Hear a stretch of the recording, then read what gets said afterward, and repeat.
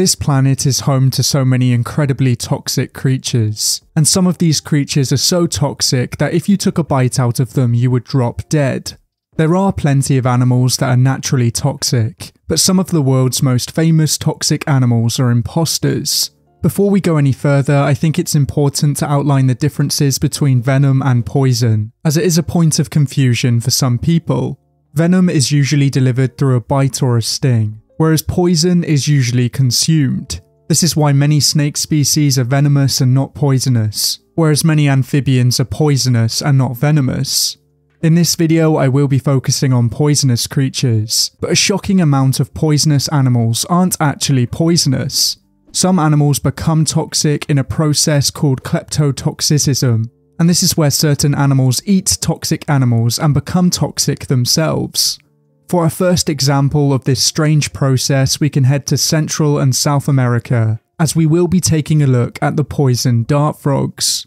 Poison dart frog is a common name for a family of frogs, and these frogs are diurnal and have brightly coloured bodies. This bright coloration is correlated with the toxicity of the species, and this is a form of aposematic coloration. This kind of coloration is designed to warn other creatures of their toxicity, and this usually means that predators leave them alone.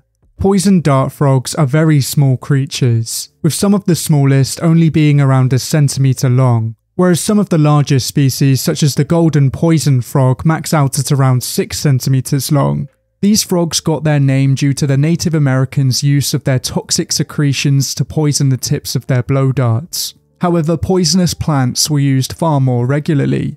The frogs used for this purpose usually all came from the same genus, and the species in this genus are known for their high levels of toxicity. If you happen to come across a poison dart frog in the wild and you decide to eat it, it may be the last thing that you ever do. These frogs secrete quite a few different alkaloid toxins, and one of these toxins is known as BTX. This toxin works by attacking the nervous system, causing convulsions, muscle contractions, and even death. This is why it's very dangerous to handle these frogs in the wild, but strangely, poison dart frogs are very popular pets. As there are many poison dart frog species that are colourful, striking, and small, it's understandable why many people would want to keep them as pets. You'd think these frogs would be very dangerous pets to keep, but poison dart frogs are completely harmless in captivity. The poison dart frog's lack of toxicity in captivity is all down to its diet. In the wild, they mostly feed on ants, mites, and small beetles, and this diet is what gives them the alkaloids that are found in their skin. In captivity, these frogs are mostly fed on fruit flies and springtails, and this diet results in them being completely harmless. The poison dart frog story is not unique, as there are other creatures in the same area that get their toxins in the same way. Of course, there are also plenty of other amphibians in the same area that create their own toxins, but the majority of these toxins are not as deadly as the poison dart frog's toxins. So even though these frogs are some of the world's most famous toxic creatures, in captivity they're not very poisonous at all. For our next group of toxic creatures, we won't be heading to anywhere in particular, as these toxic creatures can be found all over the world. This next section of the video will be about toxic birds. And although the existence of toxic birds may be surprising to some, there are a shocking amount of them. There are quite a few species that can be found in Papua New Guinea, but there are even toxic birds in Australia, Africa, North America, and Europe.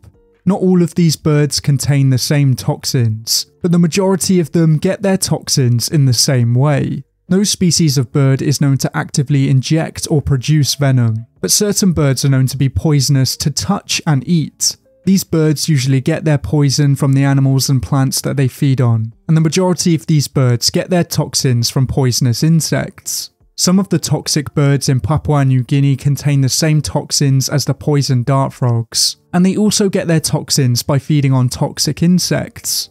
Some species, such as the hooded pitohui, can cause death if eaten, but some other birds take advantage of other poisons. The spur-winged goose is native to sub-Saharan Africa, and this goose is known for being toxic. This bird gets its toxins through its diet of blister beetles, and these beetles contain the poison cantharidin. A 10mg dose of cantharidin can kill a human, and this is why you won't find many people killing and cooking this goose. The common or European quail is a small ground nesting bird, and it is a member of the pheasant family. Even though it's called the European quail, it can be found in some parts of Africa and Asia, and for centuries we have known this bird is toxic. Instead of getting its toxins through toxic insects, the European quail gets its toxins through plants. The species of plant that makes this bird toxic is still in debate, but eating a toxic quail can result in kidney failure. There are many other examples such as this that happen all over the world, and it shows us that birds are very good at using toxins to defend themselves.